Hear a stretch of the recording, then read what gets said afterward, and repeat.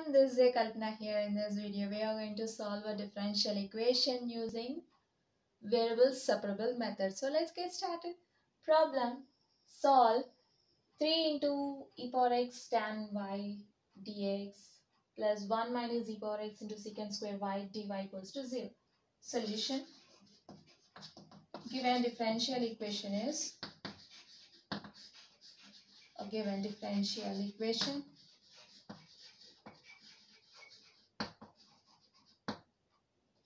into e power x into tan y dx plus one minus e power x into secant square y dy equals to zero. Okay. You can write this as first term equals to minus second term. Okay, so in the next step, we'll write all the functions of x and differential dx in one side and all the functions of y and differential dy on the other side. Okay, then you can write this as 3 into e power x by functions of x. 1 minus e power x into differential dx equals to minus functions of y tan y into dy. Okay. Now you can bring this to LHS. Then 3 into e power x by 1 minus e power x into dx plus secant square y by tan y into dy equals to 0. So here the variables are separable, right? Now we can perform integration.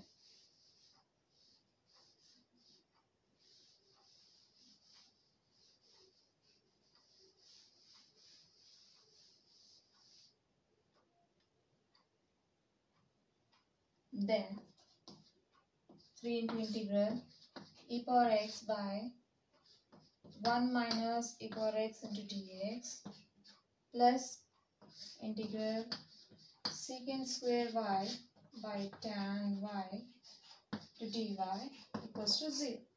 Okay. Now coming to the first integral or integrand of the first integral. This one. You're having e power x by 1 minus e power x, right? If you consider the denominator as f of x, we'll have f of x equals to 1 minus e power x, right? Then f dash of x will be minus e power x.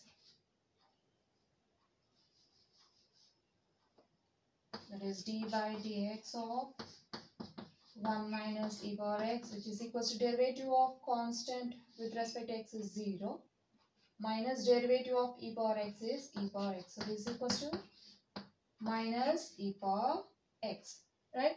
We know that integral f dash of x by f of x into dx is equals to log mod f of x plus c, right? For f dash of x equals to minus e power x and f of x equals to 1 minus e power x into dx, we'll get log mod 1 minus e power x plus some integral constant, right? In order to apply this formula here, we need a minus symbol, okay? So for that purpose, what we'll do is, we'll simply multiply, okay? Since minus into minus equals to plus. Okay, we'll take 1 minus inside the integral and 1 remains outside. Okay. Then this becomes minus 3 into log mod 1 minus e power x plus integral secant square y by tan y into dy.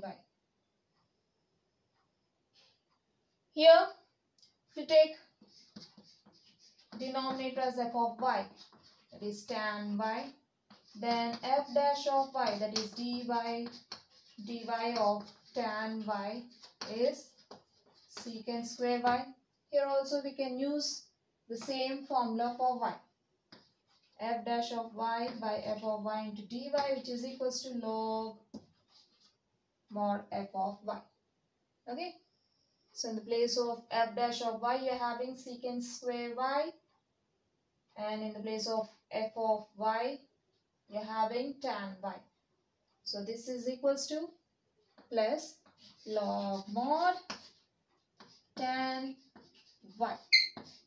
Since both the terms are in log, so we'll take integral constant as log c. Okay. Then minus 3 log 1 minus e power x plus log tan y equals to log c. We know that m log n is equals to log n power m. Then you can write the first term as log 1 minus e power x power minus 3 right plus log tan y equals to log c. Then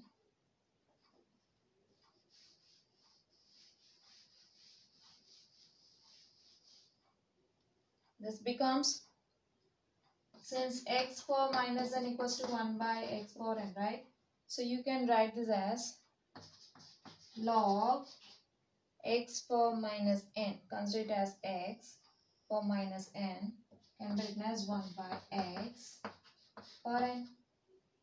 Okay. Plus remaining terms as it is.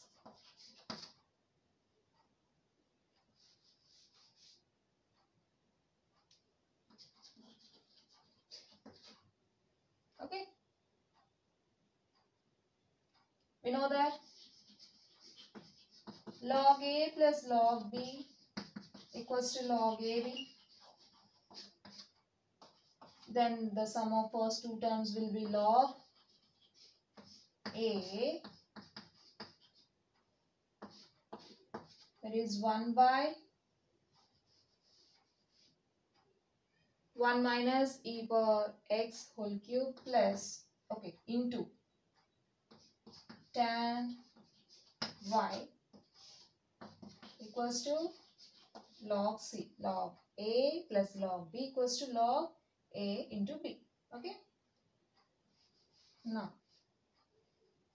you know that if log A equals to log B, then A equals to B.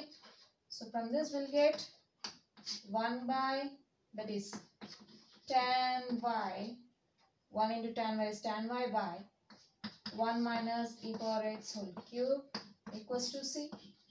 Then tan y equals to c into 1 minus e power x whole cube.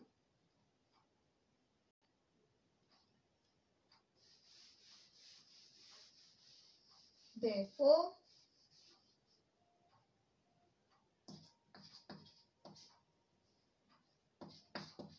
tan y equals to c into 1 minus e power x whole cube is the general solution of 1.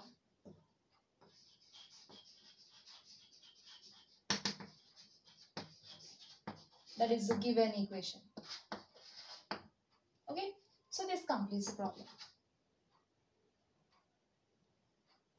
So we have seen a problem from variables separable method. Hope you'll understand. We'll see you in the next video. Until then, bye bye.